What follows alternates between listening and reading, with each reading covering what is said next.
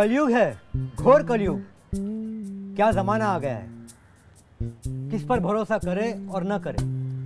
अब उस विधवा देव की आंटी को ही ले लो।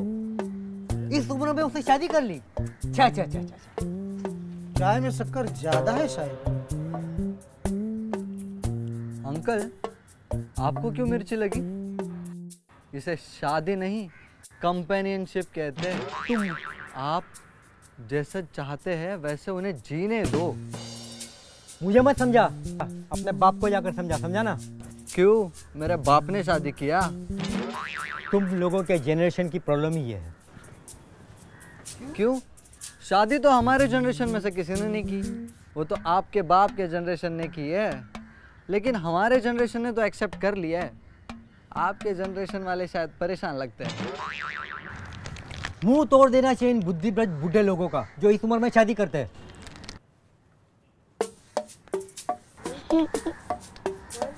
अंकल न्यूज़पेपर में आया है क्या? जनरेशन की प्रॉब्लम ही यह है।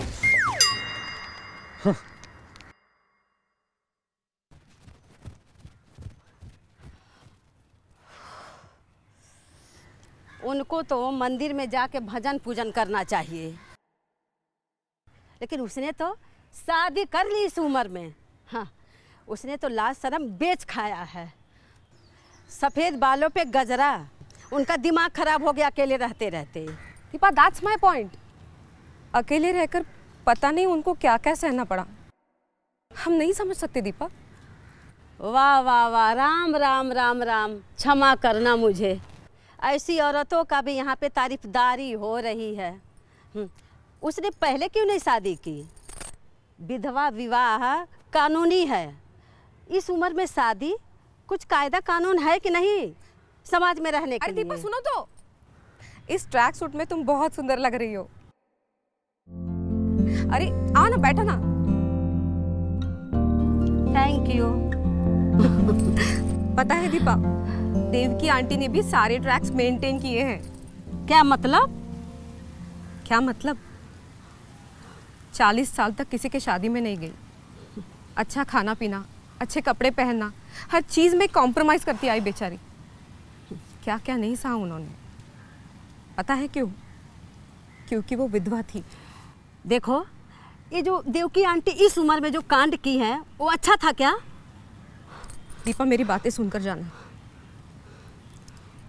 दीपा ज्ञानी लोग कहते हैं कि आधी बातें जानकर निंदा करना पाप है। क्योंकि निंदा से गलत फहमी।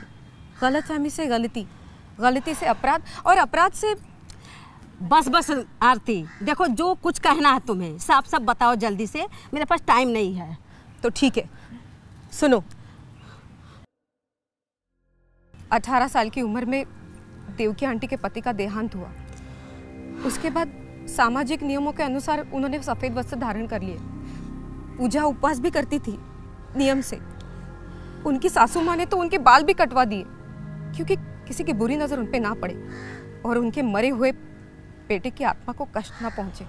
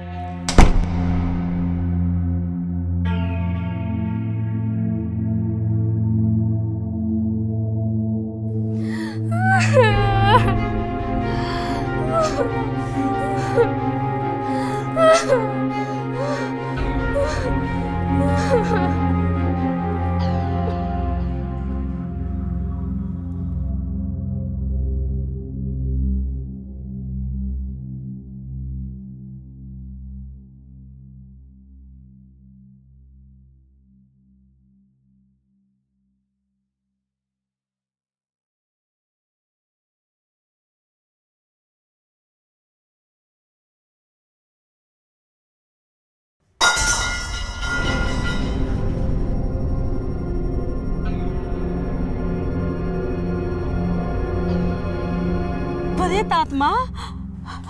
राम राम राम। मतलब आंटी के घर में उनके पति का आत्मा भटकती है। कभी दे, देवकी आंटी ने देखा है? मैंने देखा है। राम राम राम राम। आरती तुमने क्या देखा है? मैंने देव की आंटी को प्रेतात्मा का इंतज़ार करते हुए देखा है। क्या देखा है? एक दिन मैं उनके घर गई थी और मैंने देखा कि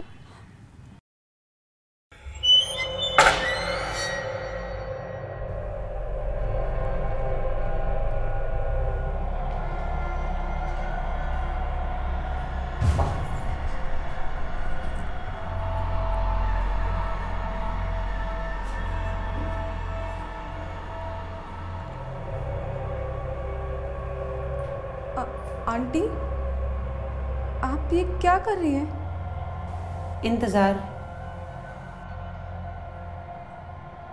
किसका? तेरे अंकल का। मतलब? डर मत। मेरी सासू माँ ने बताया था कि उनका बेटा यहीं कहीं आसपास रहता है। इसलिए इतने सालों से उसका इंतज़ार कर रही हूँ।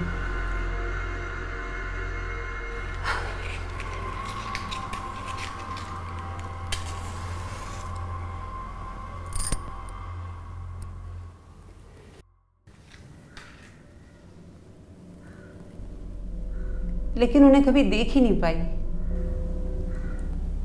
अच्छा। आंटी, इतनी सारी किताबें?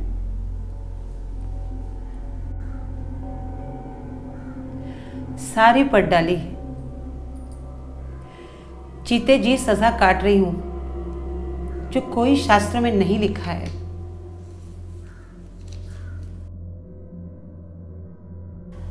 कृष्ण हमेशा मुस्कुराता रहता है, इसलिए उसकी बातें समझने के लिए गीता पढ़ रही हूँ आजकल।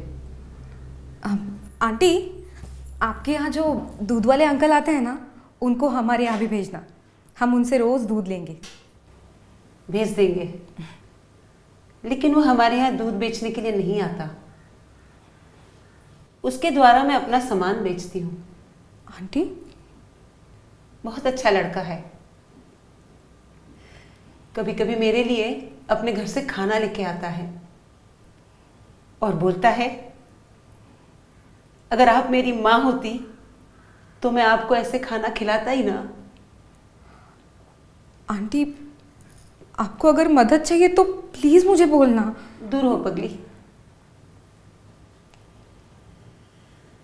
इस घर में अभी भी सामान बचा है।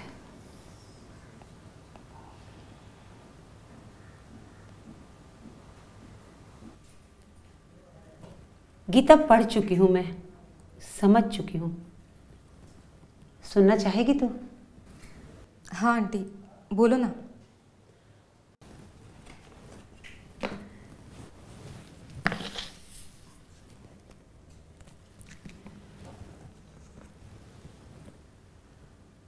अपना अच्छा नसीब और बुरा नसीब हम खुद लिखते हैं। ईश्वर हमें हर पल मौका देता है कि हम अपना नसीब अच्छा लिख सकें। पर हम अंधविश्वास में वक्त गुजार देते हैं। इंतज़ार भी तो कर रही हो अब तक? ईश्वर के इशारे का इंतज़ार कर रही हूँ। लगे रहो आंटी जी। मैं तो अभी चल रही हूँ। मेरी बेटी इंतज़ार कर रही है। चलती हूँ।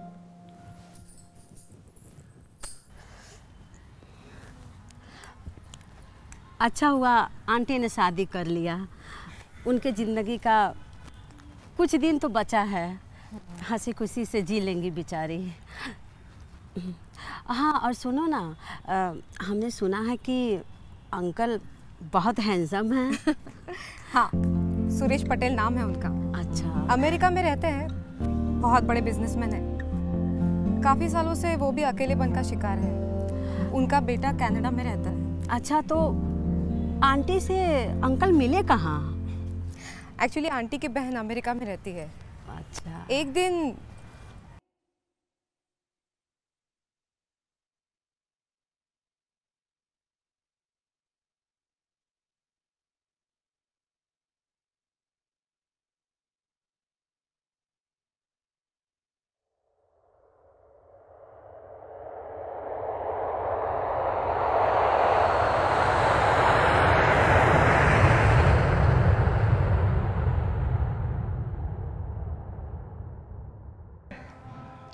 फाइनली दीदी इस अंधविश्वास से बाहर तो आई।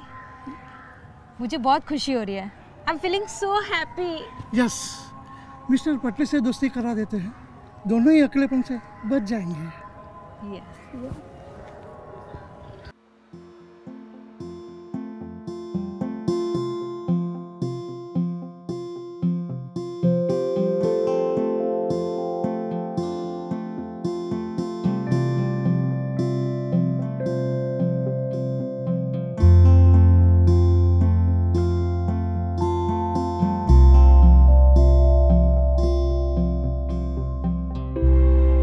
भले ही इंसान अकेला जन्म लेता है, अकेला मर जाता है, लेकिन ज़िंदगी अकेले बिताना बहुत मुश्किल है।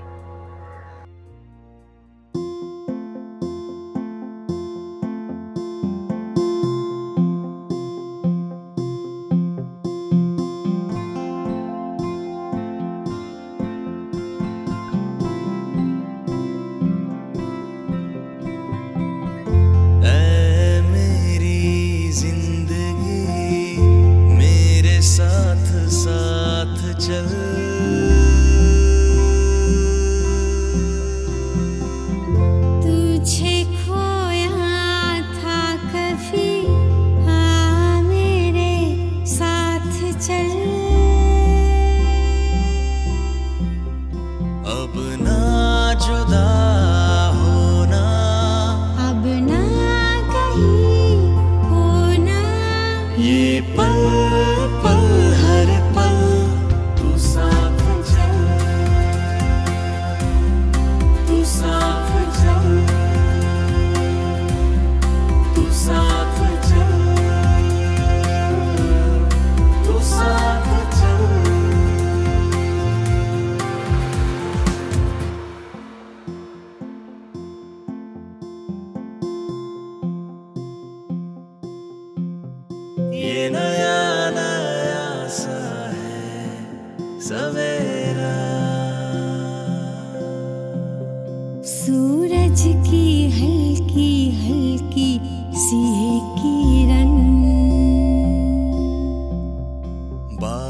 में भीगी सी ये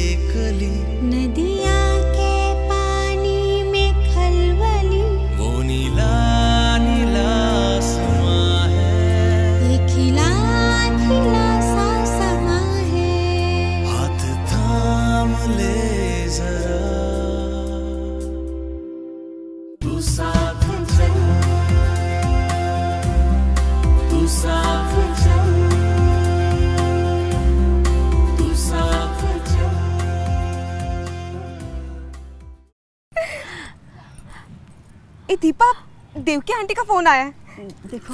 हेलो हेलो आंटी। स्पीकर पे रखती हूँ। हाँ। हेलो आंटी कैसी हैं आप? मैं अच्छी हूँ।